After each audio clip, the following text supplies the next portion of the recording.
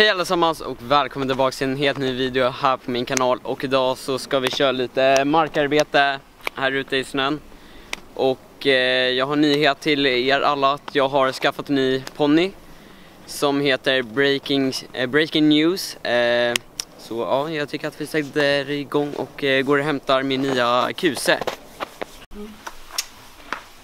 Breaking!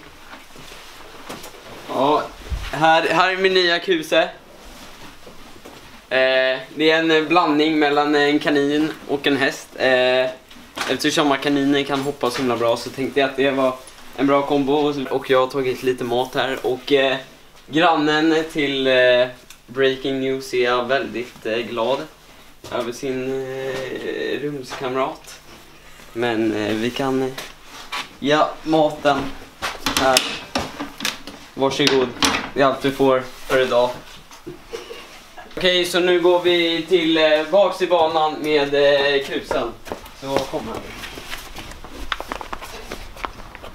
Okej, så då har vi kommit hit. Jag gick och hämtade en eh, hjälm eh, för säkerhets skull, men eh, så, men det gick i alla fall jättebra på provridningen så vi får eh, se om det går lika bra nu. Jag, jag tror väl antagligen det.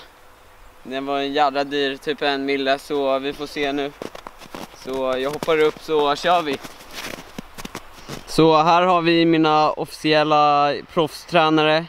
Lisen är där och Kajsa är där och eh, de har hjälpt mig att bygga fram den här banan så de ska hålla i övningarna idag. Så vad ska vi göra?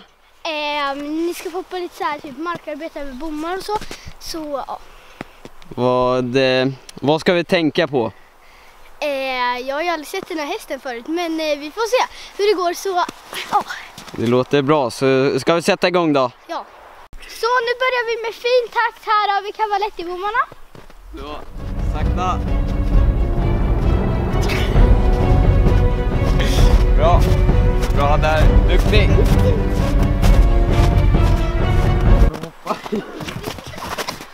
Så nu ska ni få på lite titthinder här med vattenmatta så ni kan bara komma. Bra.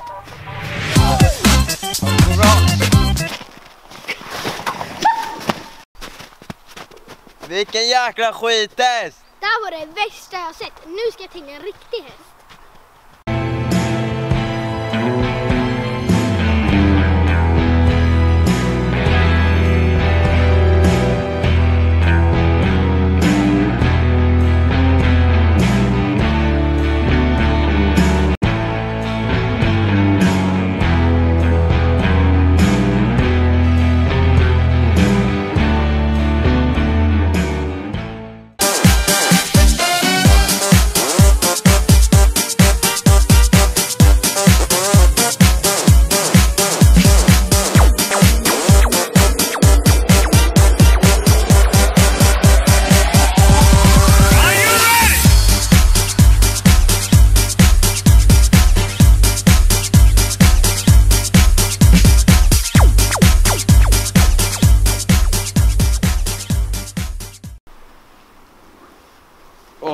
Det där var ju lätt att göra på egna, mitt egna sätt istället för den där kaninblandningen.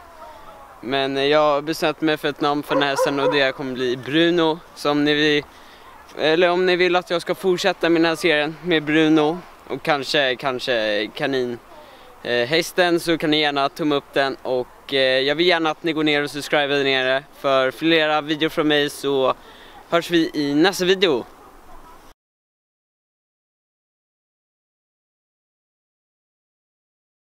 Yeah.